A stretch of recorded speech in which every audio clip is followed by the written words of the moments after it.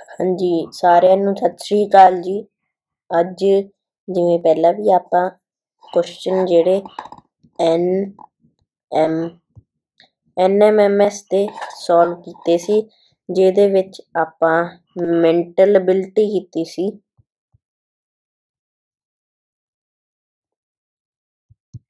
ਤੇ ਹੁਣ ਆਪਾਂ ਕਰਾਂਗੇ, ਇਹਦੇ ਵਿੱਚ ਜਿਹੜੇ ਸੈਟ ਦਾ ਹੁੰਦਾ ਏ ਐਸਐਸਟੀ ਦੇ ਕੁਐਸਚਨ ਸੋਲਵ ਕਰਾਂਗੇ। ਤੇ ਜੇ ਤੁਸੀਂ ਮੈਂਟਲ ਐਬਿਲਿਟੀ ਦੇਖਣਾ ਚਾਹੁੰਦੇ ਹੋ, ਤਾਂ ਉਹਦੀ ਵੀ ਵੀਡੀਓ ਬਣੀ ਹੋਈ ਹੈ, ਜਿਹਦੇ ਵੀ ਆਪਾਂ ਅਗਲੇ ਪਾਰਟਸ ਵੀ ਪਾਵਾਂਗੇ। ਸੋ ਆਪਾਂ ਹੁਣ ਸ਼ੁਰੂ ਕਰਨ ਜਾ ਰਹੇ ਹਾਂ। ਹਾਂਜੀ, ਪਹਿਲਾ ਕੁਐਸਚਨ ਹੈ ਸਿਲੀਕਨ ਘਾਟੀ ਕਿੱਥੇ ਹੈ? ਆਨਸਰ ਇਜ਼ ਕੈਲੀਫੋਰਨੀਆ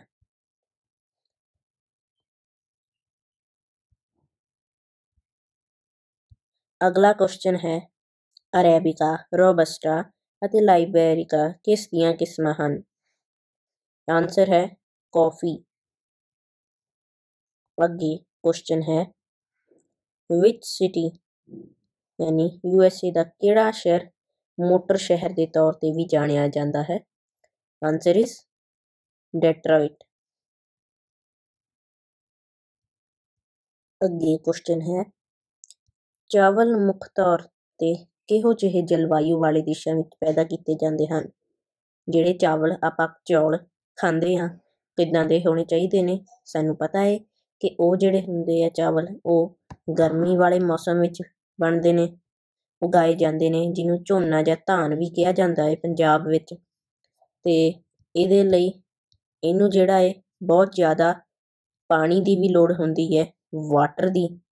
ਸੋ ਇਸ ਕਰਕੇ ਇਹਦਾ ਆਨਸਰ ਆਵੇਗਾ, ਗਰਮ ਅਤੇ ਤਰ ਹੌਟ ਐਂਡ ਹਿਊਮਿਡ ਹੌਟ ਗਰਮ ਹੋ ਗਿਆ ਤੇ ਜਿਹੜੀ ਦੂਸਰੀ ਆਪਸ਼ਨ ਹੈ ਇਹਨੂੰ ਤੁਸੀਂ ਗੌਰ ਨਾਲ ਦੇਖੋਗੇ ਹੌਟ ਤਾਂ ਚਾਹੀਦਾ ਹੈ ਪਰ ਸੁੱਕਾ ਨਹੀਂ ਚਾਹੀਦਾ ਥੋੜਾ ਥੋੜਾ ਨਮੀ ਗਿੱਲਾ ਥੋੜਾ ਸੁੱਕਾ ਨਹੀਂ ਬਿਲਕੁਲ ਵੀ ਚਾਹੀਦਾ ਹੁੰਦਾ, ਇਸ ਕਰਕੇ ਆਨਸਰ ਇਸ ਫਸਟ ਆਪਸ਼ਨ ਸੰਸਾਰ ਪ੍ਰਸਿੱਧ ਕਾਰਨ ਪੇਟੀ ਕਿਹੜੇ ਦੇਸ਼ ਵਿੱਚ ਹੈ? Answer is U S A U S A means gym America okay next question ਰੇਸ਼ਿਆਂ ਦੇ ਆਧਾਰ ਤੇ ਕਪਾਹ ਨੂੰ ਆਮ ਤੌਰ ਤੇ ਕਿੰਨੀਆਂ ਪਾ ਕਿਸਮਾਂ ਵਿੱਚ ਵੰਡਿਆ ਜਾਂਦਾ ਹੈ? ਜਿਹੜੀ ਕਪਾਹ ਹੁੰਦੀ ਹੈ, ਉਹਨੂੰ ਇੰਗਲਿਸ਼ ਵਿੱਚ ਤੇ ਆਮ ਤੌਰ ਤੇ ਵੀ ਕਾਟਨ ਦੇ ਨਾਮ ਨਾਲ ਜਾਣਿਆ ਜਾਂਦਾ ਹੈ। ਤੇ ਇਹ ਵੀ ਇੱਕ ਫਸਲ ਹੁੰਦੀ ਹੈ ਜਿਹੜੀ ਉਗਾਈ ਜਾਂਦੀ ਹੈ ਤੇ ਇਹਦੇ ਵੀ ਕਾਫੀ ਸਾਰੇ ਕੱਪੜੇ ਬਣ ਕੇ ਤਿਆਰ ਹੁੰਦੇ ਨੇ। ਠੀਕ ਹੈ। ਤੇ ਆਮ ਤੌਰ ਤੇ ਇਹਨੂੰ ਤਿੰਨ ਭਾਗਾਂ ਵਿੱਚ ਵੰਡਿਆ ਜਾਂਦਾ ਹੈ ਛੋਟੇ ਰੇਸ਼ੇ, ਮੱਧ ਰੇਸ਼ੇ ਤੇ ਵੱਡੇ ਰੇਸ਼ੇ। ਗੇ ਇੱਕ ਸੌ ਸਤਵੰਜਾ ਕੁਸ਼ਚਨ ਭਾਰਤ ਦੇ ਕਿਹੜੇ ਰਾਜ ਚਾਹ ਪੈਦਾ ਕਰਨ ਲਈ ਪ੍ਰਸਿੱਧ ਹਨ? ਇਹਦੇ ਵਿੱਚ ਆਨਸਰ ਆਪਾਂ ਆਪਸ਼ਨ ਵਾਈਜ਼ ਦੇਖਾਂਗੇ। ਚਾਹ, ਉਹ ਨਾ ਤਾਂ ਰਾਜਸਥਾਨ ਵਿੱਚ ਪੈਦਾ ਹੁੰਦੀ ਹੈ। ਤੇ ਇਸ ਕਰਕੇ ਆਪਾਂ ਪਹਿਲੇ ਰਾਜ ਨੂੰ ਦੇਖਾਂਗੇ। ਪਹਿਲੇ ਰਾਜ ਹੈ ਰਾਜਸਥਾਨ, ਇਹਦੇ ਵਿੱਚ ਨਹੀਂ ਹੁੰਦੀ, ਸੋ ਹੋਰ ਕਿਸੇ 'ਚ ਵੀ ਨਹੀਂ ਹੁੰਦੀ। ਪੰਜਾਬ ਪੰਜਾਬ ਵਿੱਚ ਹੁੰਦੀ ਹੈ, ਨਹੀਂ। ਅਸਾਮ, ਹਾਂ, ਅਸਾਮ ਵਿੱਚ ਚਾਹ ਪੈਦਾ ਕੀਤੀ ਜਾਂਦੀ ਹੈ, so answer is third option next question ਪਾਣੀ ਨੂੰ ਸਮਾਈ ਰੱਖਣ ਦੀ ਸਮਰੱਥਾ ਕਿਹੜੀ ਮਿੱਟੀ ਵਿੱਚ ਸਭ ਤੋਂ ਘੱਟ ਹੈ? ਇਹਦਾ ਆਵੇਗਾ ਮਾਰੂਥਲੀ ਮਿੱਟੀ, ਕਿਉਂਕਿ ਉੱਥੇ ਸਮਾਈ ਰੱਖਣ ਦੀ ਪਾਣੀ ਦੀ ਸ਼ਮਤਾ ਬਹੁਤ ਘੱਟ ਹੁੰਦੀ ਹੈ ਤੇ ਤੁਸੀਂ ਰੇਤਾ ਵਿੱਚ ਵੀ ਦੇਖੋਗੇ, ਉਹਦੇ ਵਿੱਚ ਪਾਣੀ ਦੀ ਸਮਰੱਥਾ ਘੱਟ ਹੁੰਦੀ ਹੈ। ਹਾਂਜੀ। ਹੇਠ ਲਿਖਿਆਂ ਵਿੱਚੋਂ ਕਿਹੜਾ ਧਾਤੂ ਖਣਿਜ ਪਦਾਰਥ ਨਹੀਂ ਹੈ? ਤਾਂਬਾ ਵੀ ਇੱਕ ਮੈਟਲ ਹੈ, ਖਣਿਜ ਪਦਾਰਥ ਹੈ। ਲੋਹਾ ਵੀ ਇੱਕ ਖਣਿਜ ਪਦਾਰਥ ਹੈ। ਚਾਂਦੀ, ਸਿਲਵਰ ਵੀ ਇੱਕ ਖਣਿਜ ਪਦਾਰਥ ਹੈ। ਪਰ ਕੋਲਾ ਇੱਕ ਖਣਿਜ ਪਦਾਰਥ ਨਹੀਂ ਹੈ। So answer is fourth option next question Bharat ਦਾ ਖੇਤਰਫਲ ਕਿੰਨੇ ਵਰਗ ਕਿਲੋਮੀਟਰ ਵਿੱਚ ਹੈ? ਇਹ ਤਾਂ ਸਾਰਿਆਂ ਨੂੰ ਪਤਾ ਹੀ ਹੋਣਾ ਚਾਹੀਦਾ ਹੈ ਕਿ ਇਹਦਾ ਆਨਸਰ ਹੈ 32 ਲੱਖ 87 ਹਜ਼ਾਰ 782 ਵਰਗ ਕਿਲੋਮੀਟਰ। ਅੱਗੇ ਚੱਲਦੇ ਹਾਂ ਹੇਠ ਲਿਖਿਆ ਵਿੱਚੋਂ ਸਭ ਤੋਂ ਵਧੀਆ ਕਿਸਮ ਦਾ ਕੋਲਾ ਕਿਹੜਾ ਹੈ? ਇਹਦਾ ਆਨਸਰ ਹੈਗਾ ਏ ਐਂਥ੍ਰੇਸਾਈਟ ਤੇ ਇਹਦੇ ਵਿੱਚ ਸਾਨੂੰ ਕੁਐਸਚਨ ਆ ਸਕਦਾ ਏ, ਸਭ ਤੋਂ ਮਾੜੇ ਕਿਸਮ ਦਾ ਕੋਲਾ ਤਾਂ ਉਹ ਆਵੇਗਾ ਪੀਟ। ਪਰ ਇੱਥੇ ਉਹਨਾਂ ਨੇ ਵਧੀਆ ਕਿਸਮ ਦਾ ਕੋਲਾ ਪੁੱਛਿਆ ਏ। ਹਾਂਜੀ, ਅੱਗੇ ਚੱਲਦੇ ਹਾਂ ਭਾਰਤ ਦਾ ਆਧੁਨਿਕ ਕਾਲ। ਕਿਸ ਮੁਗਲ ਬਾਦਸ਼ਾਹ ਦੀ ਮੌਤ ਤੋਂ ਬਾਅਦ ਹੋਇਆ? ਭਾਰਤ ਦਾ ਆਧੁਨਿਕ ਕਾਲ ਕਦੋਂ ਹੋਇਆ? 18ਵੀਂ ਸਦੀ ਵਿੱਚ। ਤੇ 18ਵੀਂ ਸਦੀ ਕਦੋਂ ਸ਼ੁਰੂ ਹੋਈ? 18ਵੀਂ ਸਦੀ ਹੋਈ 1700 ਈਸਵੀ। 1700 ਈਸਵੀ ਵਿੱਚ 18ਵੀਂ ਸਦੀ ਸ਼ੁਰੂ ਹੋਈ ਤੇ ਇਸ ਵਿੱਚ ਹੀ ਭਾਰਤ ਦਾ ਆਧੁਨਿਕ ਕਾਲ ਆਰੰਭ ਹੋਇਆ, ਜਿਸ ਵਿੱਚ ਆਪਾਂ ਆਪਸ਼ਨ ਵਾਈਜ਼ ਦੇਖਾਂਗੇ। ਬਾਬਰ ਜਿਹੜਾ ਸੀ, ਉਹ 1500 ਈਸਵੀ ਤੋਂ 1600 ਈਸਵੀ ਦੇ ਵਿੱਚ ਵਾਲਾ ਸ਼ਾਸਕ ਸੀ, ਜਿਹੜਾ ਅਕਬਰ ਸੀ, ਉਹ ਵੀ ਇਸੇ ਸਾਲਾਂ ਦਾ ਸ਼ਾਸਕ ਸੀ ਇਦਾਂ ਵਿੱਚਾਂ ਦਾ। ਤੇ ਜਿਹੜਾ ਸ਼ਾਹਜਹਾਂ ਸੀ, ਸ਼ਾਹਜਹਾਂ 1600 ਤੋਂ 1700 ਈਸਵੀ ਦੇ ਵਿੱਚ ਉਸ ਦਾ ਆਪਣਾ ਸ਼ਾਸਨ ਕੀਤਾ। ਪਰ ਜਿਹੜਾ ਸੀ ਔਰੰਗਜ਼ੇਬ, ਉਹਨੇ ਉਹਦੀ ਮੌਤ 1707 ਈਸਵੀ, ਯਾਨੀ ਆਧੁਨਿਕ ਕਾਲ ਵਿੱਚ ਹੋਈ। ਤੋਂ ਇਹਦਾ ਆਨਸਰ ਆਵੇਗਾ ਔਰੰਗਜ਼ੇਬ। ਬਕਸਰ ਦੀ ਲੜਾਈ ਕਦੋਂ ਹੋਈ? ਬਕਸਰ ਦੀ ਲੜਾਈ 1764 ਈਸਵੀ ਵਿੱਚ ਹੋਈ। ਅੱਗੇ ਚੱਲਦੇ ਹਾਂ। ਕਿਸ ਐਕਟ ਮੁਤਾਬਕ ਪੰਜਾਬ, ਬੰਗਾਲ ਦੇ ਗਵਰਨਰ ਜਨਰਲ ਅਤੇ ਕੌਂਸਲ ਨੂੰ ਭਾਰਤ ਦਾ ਗਵਰਨਰ ਜਨਰਲ ਅਤੇ ਕੌਂਸਲ ਦਾ ਨਾਮ ਦਿੱਤਾ ਗਿਆ? ਇਹ ਐਕਟ ਦਾ ਨਾਮ ਕੀ ਸੀ? ਇਹਦਾ ਆਨਸਰ ਹੈ ਚਾਰਟਰ ਐਕਟ ਇਹ ਬਹੁਤ ਇੰਪੋਰਟੈਂਟ ਕੁਐਸਚਨ ਨੇ, ਸੋ ਇਹ ਵਾਲਾ ਟੌਪਿਕ ਨੂੰ, ਇਹ ਵਾਲੇ ਟੌਪਿਕ ਨੂੰ ਵੀ ਤੁਸੀਂ ਜ਼ਰੂਰ ਰੀਡ ਕਰਨਾ ਹੈ। ਹੰਟਰ ਕਮਿਸ਼ਨ ਦੀ ਸਥਾਪਨਾ ਕਦੋਂ ਹੋਈ? ਹੰਟਰ ਕਮਿਸ਼ਨ ਦੀ ਸਥਾਪਨਾ 1882 ਈਸਵੀ ਯਾਨੀ ਆਪਸ਼ਨ ਬੀ ਇਸ ਸਾਲ ਵਿੱਚ ਹੋਈ। 1857 ਈਸਵੀ ਦੇ ਪਹਿਲੇ ਸ਼ਹੀਦ ਦਾ ਨਾਮ ਕੀ ਸੀ? ਆਨਸਰ ਹੈ ਮੰਗਲ ਪਾਂਡੇ। 1911 ਵਿੱਚ ਅੰਗਰੇਜ਼ਾਂ ਨੇ ਕਿਸ ਸ਼ਹਿਰ ਨੂੰ ਆਪਣੀ ਰਾਜਧਾਨੀ ਬਣਾਇਆ? ਇਹਦਾ ਆਨਸਰ ਆਵੇਗਾ। ਹਾਂਜੀ ਨੈਕਸਟ ਕੁਐਸਚਨ ਹੈ। 1911 ਈਸਵੀ ਵਿੱਚ ਅੰਗਰੇਜ਼ਾਂ ਨੇ ਕਿਸ ਸ਼ਹਿਰ ਨੂੰ ਆਪਣੀ ਰਾਜਧਾਨੀ ਬਣਾਇਆ? 1911 ਵਿੱਚ ਉਹਨਾਂ ਨੇ ਦਿੱਲੀ ਨੂੰ ਆਪਣੀ ਰਾਜਧਾਨੀ ਬਣਾਇਆ। ਤੇ ਜੇ ਤੁਹਾਨੂੰ ਕੁਐਸਚਨ ਆਵੇ 1911 ਤੋਂ ਪਹਿਲਾਂ ਤਾਂ ਇਹਦਾ ਆਨਸਰ ਆਵੇਗਾ ਕਲਕੱਤਾ। ਇਹਨੂੰ ਤੁਸੀਂ ਰਾਈਟ ਕਰਨਾ ਹੈ, ਜੇ 1911 ਤੋਂ ਉਹਨਾਂ ਨੇ ਪਹਿਲਾਂ ਦੀ ਪੁੱਛਿਆ। ਨੈਕਸਟ ਕੁਐਸਚਨ ਹੈ। 1763 ਤੱਕ ਇਹ ਤੋਂ 1746 ਤੋਂ 1763 ਈਸਵੀ ਤੱਕ ਕਿਹੜੇ ਯੁੱਧ ਹੋਏ? ਜਿਨ੍ਹਾਂ ਵਿੱਚ ਅੰਗਰੇਜ਼ ਜੇਤੂ ਰਹੇ, ਜਿਸ ਨਾਲ ਭਾਰਤ ਵਿੱਚ ਅੰਗਰੇਜ਼ਾਂ ਦੀ ਸੱਤਾ ਦਾ ਰਾਹ ਖੁੱਲ ਗਿਆ। ਆਨਸਰ ਇਹਦਾ ਹੈਗਾ ਏ, ਕਰਨਾਟਕ ਦਾ ਯੁੱਧ। ਉਸ ਕਾਲ ਨੂੰ ਕੀ ਕਿਹਾ ਜਾਂਦਾ ਹੈ? ਜਦੋਂ ਭਾਰਤ ਉੱਤੇ ਬਾਬਰ, ਹੁਮਾਯੂੰ, ਅਕਬਰ ਵਰਗੇ ਬਾਦਸ਼ਾਹਾਂ ਨੇ ਰਾਜ ਕੀਤਾ, ਇਹ ਕਾਲ ਨੂੰ ਕਹਿੰਦੇ ਨੇ ਮੱਧਕਾਲ।